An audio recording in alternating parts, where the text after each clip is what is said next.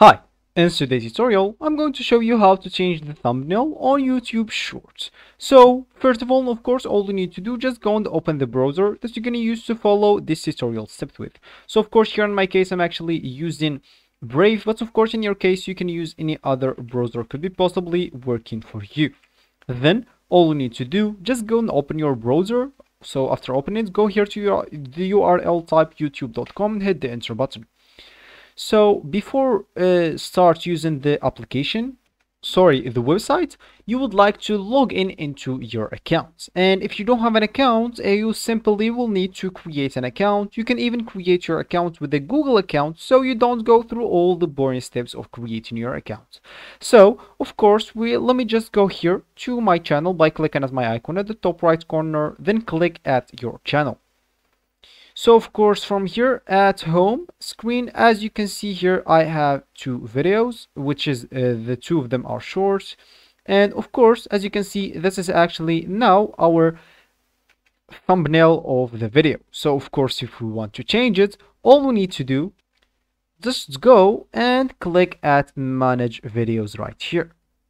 So of course this will actually open for us the YouTube creator studio and let's just wait until this open up. So as you can see for me here i have three videos.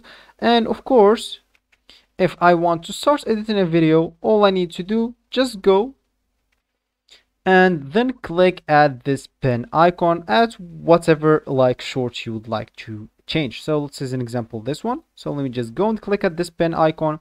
And from here you would like to scroll down a bit. And here you'll find the thumbnail option.